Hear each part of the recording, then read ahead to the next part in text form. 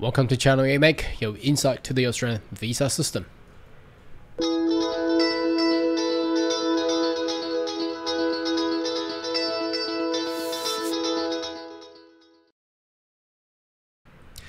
Good day everyone, my name is Carl Young, your online YouTube visa consultant.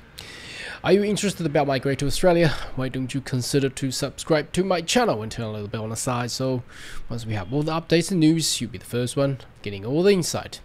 Now, unfortunately, we don't have much of the immigration policy update.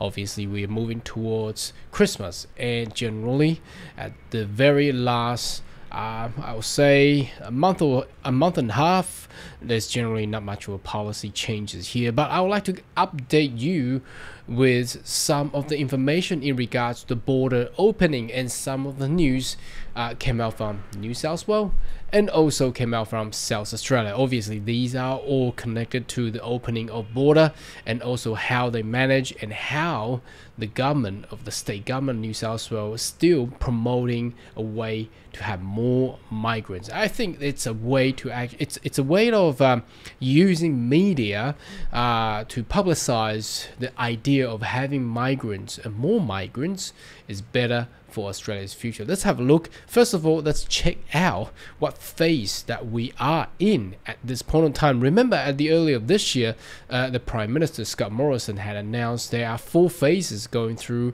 for the vaccination rate of the entire Australian population. Let's check out which phase that we are in at the moment. Now, this is the actual news which I would like to go through at the very end, uh, talking about the radical surge of immigration. But let's go into the national plane first. Okay, because this is also very vital.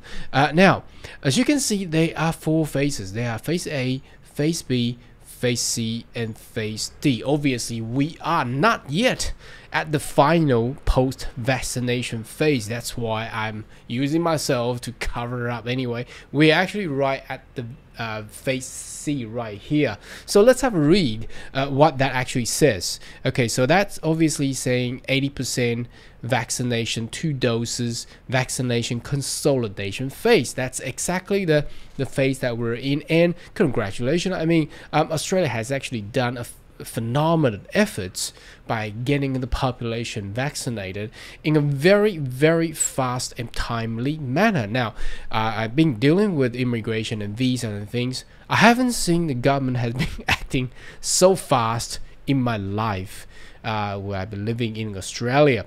Anyway, it's good. So let's have a look. I think everybody got stuck long enough. They want it out. So at this phase, it says seek to minimize serious illness, hospitalization, and fatality as a result of COVID-19 with baseline restrictions. So measure may include, okay, let's have read. This is very important. Uh, maximize vaccination co uh, coverage. So a lot of uh, states and territory are still, a lot of people still got not having vaccination yet, so they gotta get vaccinated. Uh, minimum minimum ongoing baseline restrictions. So obviously we're talking about no more lockdowns. So without lockdowns, we have just seen a few. I think there's one done in Northern Territory. Now there was a traveler from Brisbane to Tasmania who was tested positive with COVID, uh, but no lockdown.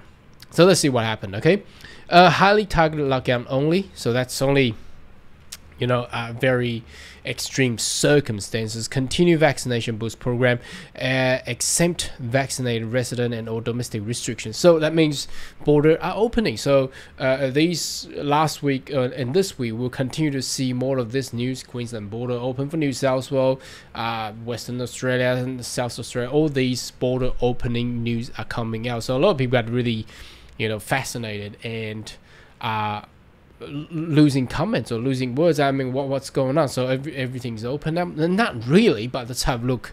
Okay, abolishing caps, returning vaccinated Australians. So, meaning that uh, the the require of certain limited seats on the commercial uh, passenger flight is no more. So uh, you can you can fit. I mean that that that also means the uh, air ticket cost is dropping down too. So that's very good.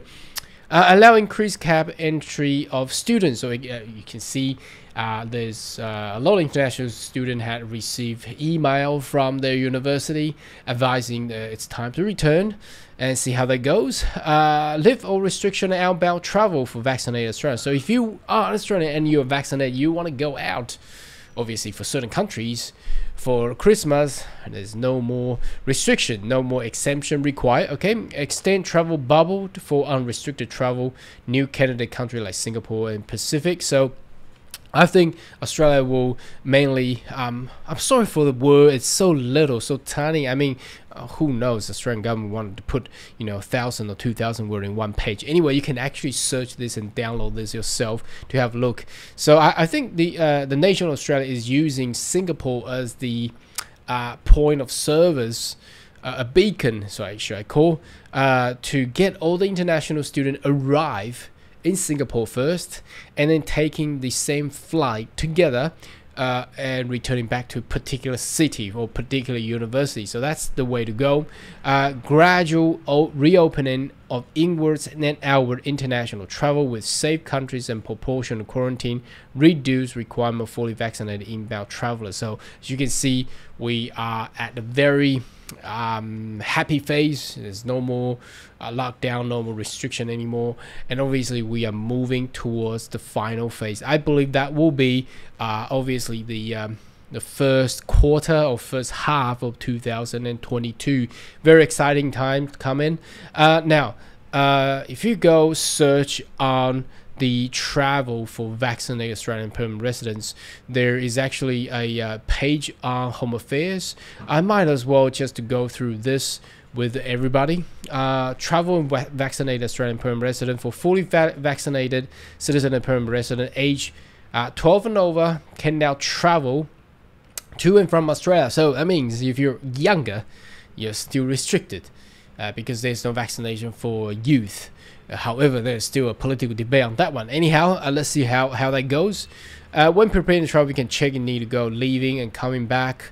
Uh, all traveler of Australia complete the ATD at least uh, 72 before departure. So travel declarations. Now, bear in mind, there's also other re uh, requirement for the destination countries whereby they probably need a PCR test or whatever it is.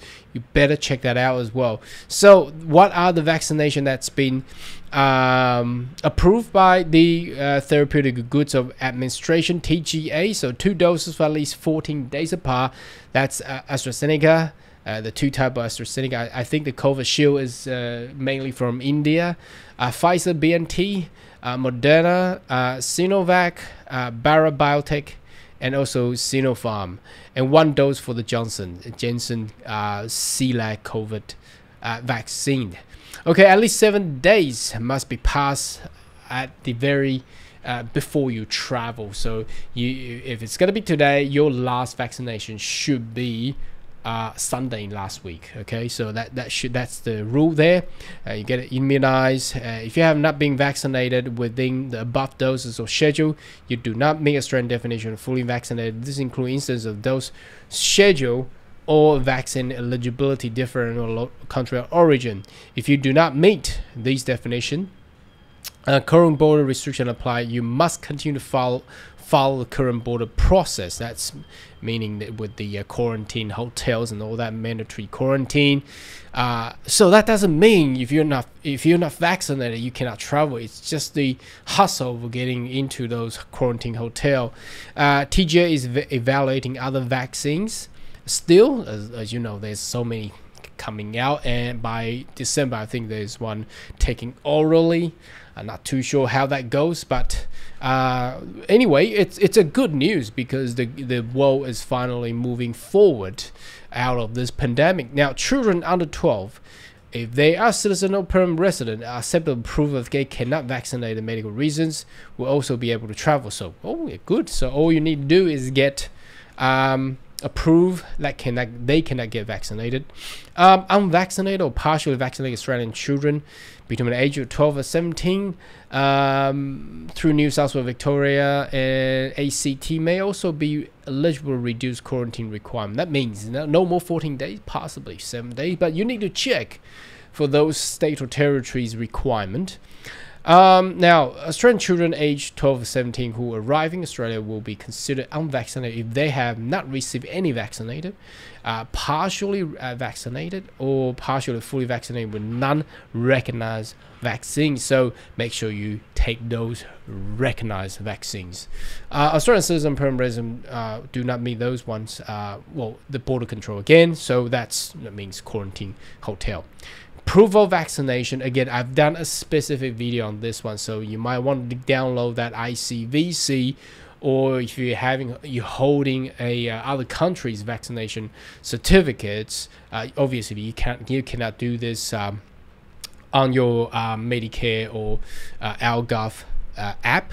Uh, you bring that once you enter into Australia, then you uh, you need to head to your um, doctor and get that uh, recorded into the Australian health systems, and then you have that a IV ICVC. Okay, so I've done a, a, specific video on that one if you want to refer to that. Now let's moving to the news. Some news, uh, very interesting news. Let's uh, let's have a look. So this first one is about South Australia. So uh, this will apply to every other university as well. So I, I, think it's it's another key information here. South Australia Authority announced further detailed border reopening on November 23rd. So 23rd, that's only about a week or two away. So let's have a look.